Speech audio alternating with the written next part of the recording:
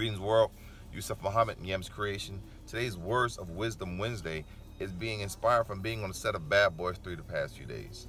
I've been blessed with the opportunity to watch Will Smith as he's acting and doing a few scenes. There's a few scenes that I've seen him do. Every time he does it, he steps outside the scene, gets focused, goes in, does what he have to do.